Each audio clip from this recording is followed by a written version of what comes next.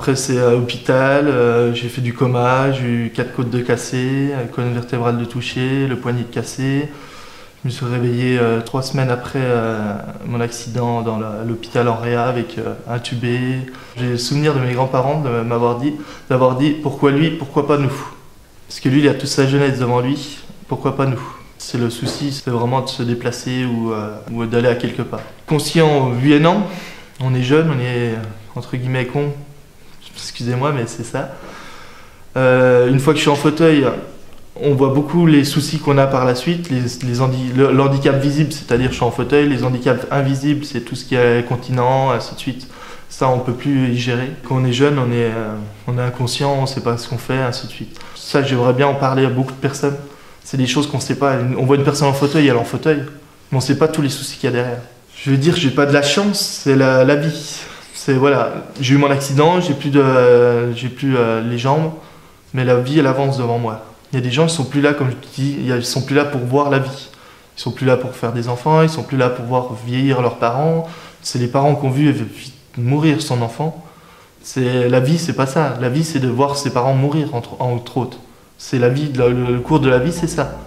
Moto plus scooter, c'est à peine 2% du trafic. Pourtant, c'est 44% des accidents graves.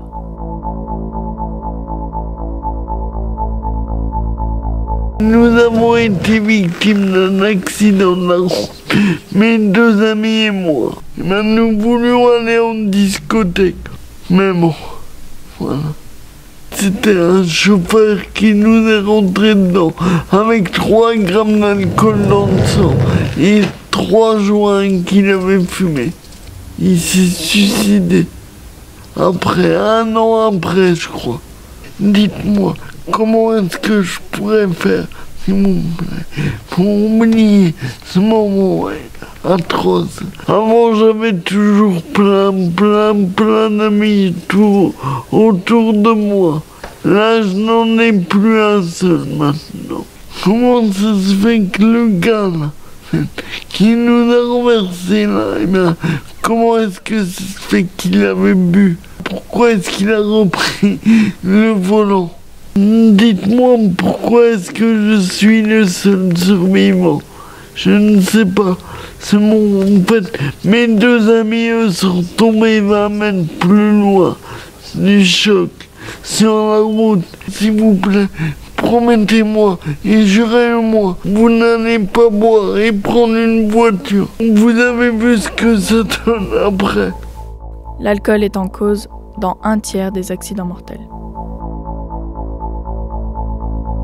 De faire comprendre que la vie, elle tient qu'à un fil. Quand notre vie est bouleversée, elle bouleverse tout le monde.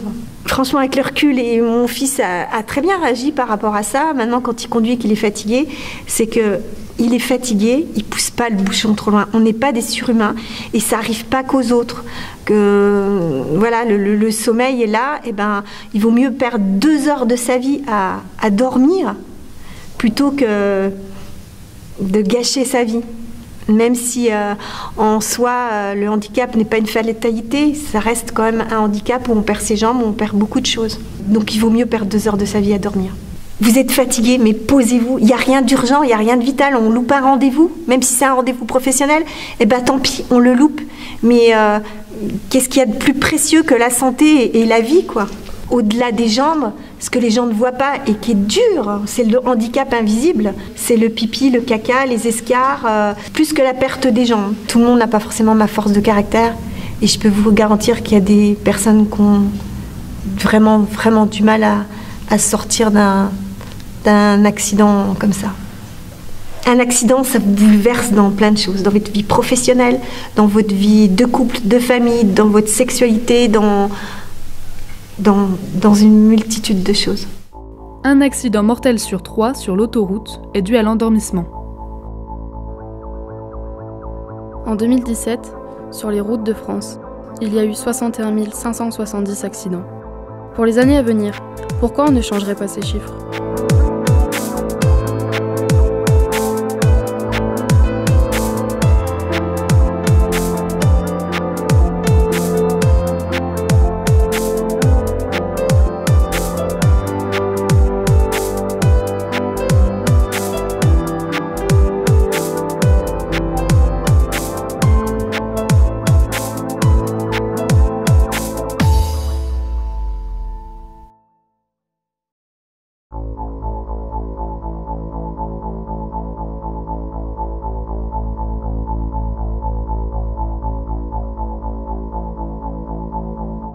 Fait trois semaines de coma. Un pied, une jambe, un bras cassé et un gros hématome au cerveau. Euh, j'ai frôlé la mort. Après, ce qui m'énerve au jour d'aujourd'hui, c'est les gens qui le font et qui se rendent pas compte de ce qu'ils peuvent avoir ou pas. On va souvent euh, dans le truc tête baissée et une fois que c'est arrivé, bah, trop tard. quoi. Le téléphone, c'est. Ça sauve la vie et ça peut en enlever aussi. C'est une addiction. Dans le temps, nos parents n'avaient pas de téléphone. Ils se débrouillaient bien sans. Et aujourd'hui, ben, on peut pas faire sans et jusqu'au jour où je ne serai jamais guéri. Ben, L'accident, ça fait 8 ans. Et je vous parlais tout à l'heure que je vais me faire opérer d'ici une quinzaine de jours. Donc je sais pas si ça sera fini un jour. Bon, pour être revenu à peu près comme aujourd'hui, ça a mis 3-4 ans quand même. J'estime que ça peut servir à des gens. Comme vous, plus tard, euh, vous le ferez peut-être pas. Parce qu'on sait qu'on est normal au départ quand on téléphone, machin. Et euh, du jour au lendemain, tout peut changer. Donc euh, le jour de mon accident, j'ai utilisé le portable euh, pour écrire à ma copine de l'époque, qui après le coma que je l'ai pas reconnue, donc ça a fini comme ça. Quoi. Il y a dix ans en arrière, ça sonnait, bah, je répondais. Ça vaut pas le coup de mourir pour un téléphone. Bah bon, maintenant c'est un peu tard pour me le dire. Consulter son téléphone au volant multiplie par 3 le risque d'accident.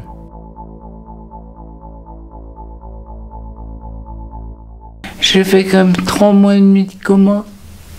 Ça fait long, trois mois et demi. Mon, bras gauche qui ne fonctionne plus. Puis la moitié de ma jambe gauche. Je n'ai plus la sensation de faim. En fait, je, en fait, je pense que je pourrais mourir de faim sans m'en rendre compte. Je suis très très reconnaissant envers TView.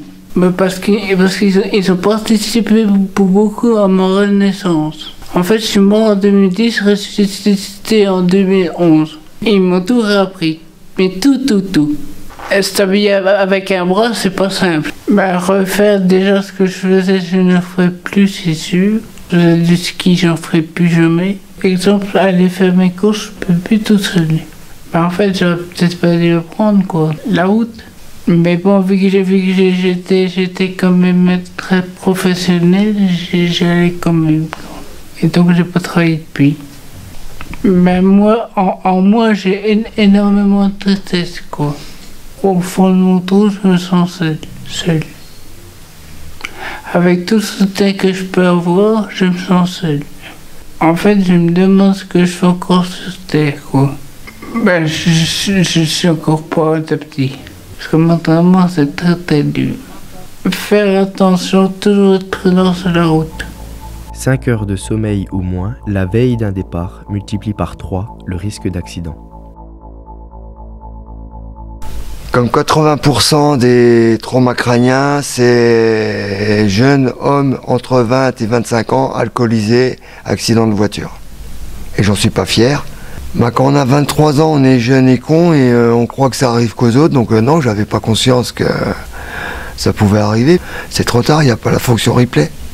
Je ne sens plus les odeurs, j'ai le goût qui est fortement atténué, j'ai un champ visuel rétréci, je suis sourd à moitié. Après, c'est tout ce qui est cognitif qui est, qui est touché.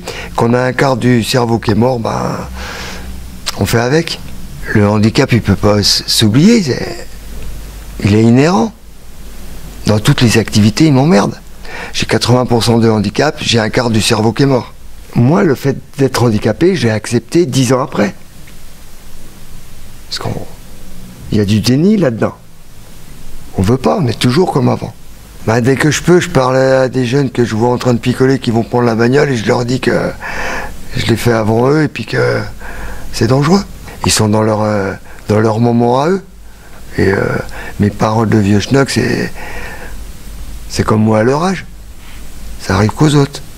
S'il y a une personne sur 10 000 qui regarde le, clip et qui évite euh, de se foutre sa vie en l'air, bah, c'est, c'est déjà ça. Si on peut éviter aux autres les conneries qu'on a fait nous, c'est pas mal. 25% des conducteurs de 18 à 35 ans impliqués dans un accident mortel avaient trop bu. En 2017, sur les routes de France, il y a eu 61 570 accidents. Pour les années à venir, pourquoi? On ne changerait pas ces chiffres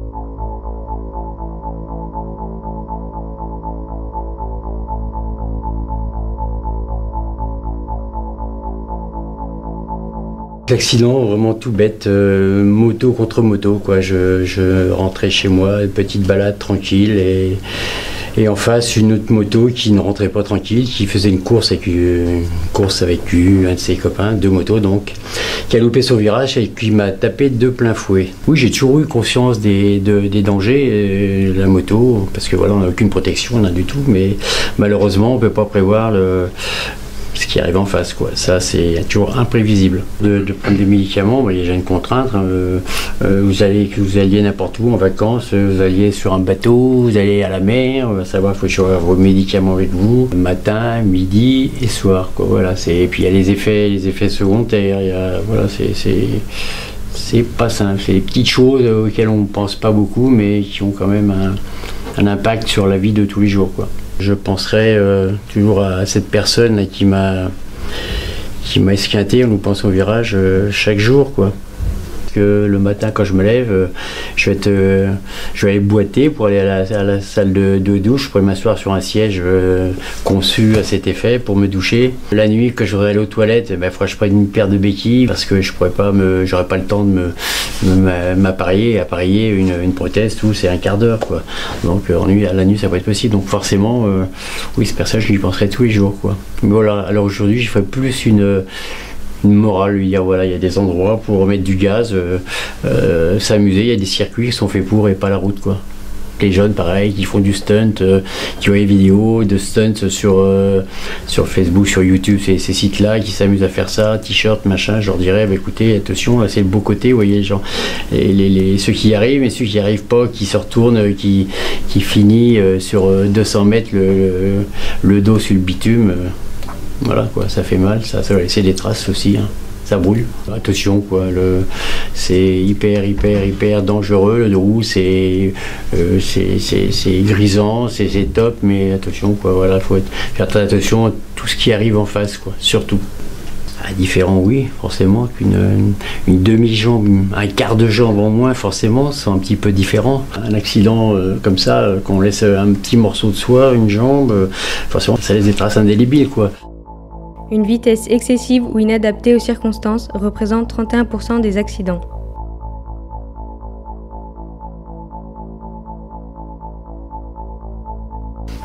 Bonjour, je suis là aujourd'hui pour vous présenter comment un jeune sportif de 18 ans, en moins d'une seconde, je me suis retrouvé dans un lit branché de partout. Le soir du 25 juillet 1995, alors que je revenais à pied d'une plage de la côte d'Azur, en traversant la route, je me fiscale renversé par une moto. Le diagnostic fut clair, grave traumatisme crânien avec profond commun. C'est à partir de ce moment que deux années de rééducation débutèrent. La kinésithérapie pour réapprendre à marcher. Que ce fut difficile. Le pire souvenir, le standing bar, il s'agit d'un appareil vous obligeant à rester debout, ça peut vous paraître très simple. Mais quand tu n'as plus de muscles, c'est horrible. L'ergothérapie pour le contrôle des membres supérieurs. Je tremblais énormément, des jeux du style, qui puissance 4, insérer des morceaux de bois de différentes largeurs dans des trous de différentes largeurs me demandait d'importants efforts. Je vis aujourd'hui une vie d'handicapé de la parole, ce qui explique l'utilisation d'une synthèse vocale. Je me rends en ville, ciné, concert, bowling, resto, bistrot, différents magasins. Je soutiendrai l'an prochain un doctorat de sociologie ayant pour thème l'intégration des personnes en difficulté d'élocution, une vie heureuse et bien remplie. Cependant, j'aurais préféré rester valide. Donc c'est vrai, je l'ai été comme vous, quand on est jeune on est un peu foufou. Et quand on devient handicapé, on se dit dans sa petite tête, ben ouais, j'ai peut-être été un peu con. Je suis quasi certain que sur la plage, on avait fumé de la bœuf. J'étais dans le coma tellement grave, que les parents, histoire de fumer ou non, ils s'en foutent. Ce qu'ils craignaient le plus c'était de recevoir un coup de fil, que j'étais mort. Je veux pas passer pour le père fouettard, mais faites attention, c'est quand même con d'être en pleine forme. Et de passer à être handicapé. Car c'est vrai, je vis des super moments, comme celui que je passe avec vous. Mais j'aurais peut-être préféré avoir travail, femme, enfant. Les piétons représentent environ 15% de la mortalité routière. En 2017, sur les routes de France, il y a eu 61 570 accidents. Pour les années à venir, pourquoi on ne changerait pas ces chiffres?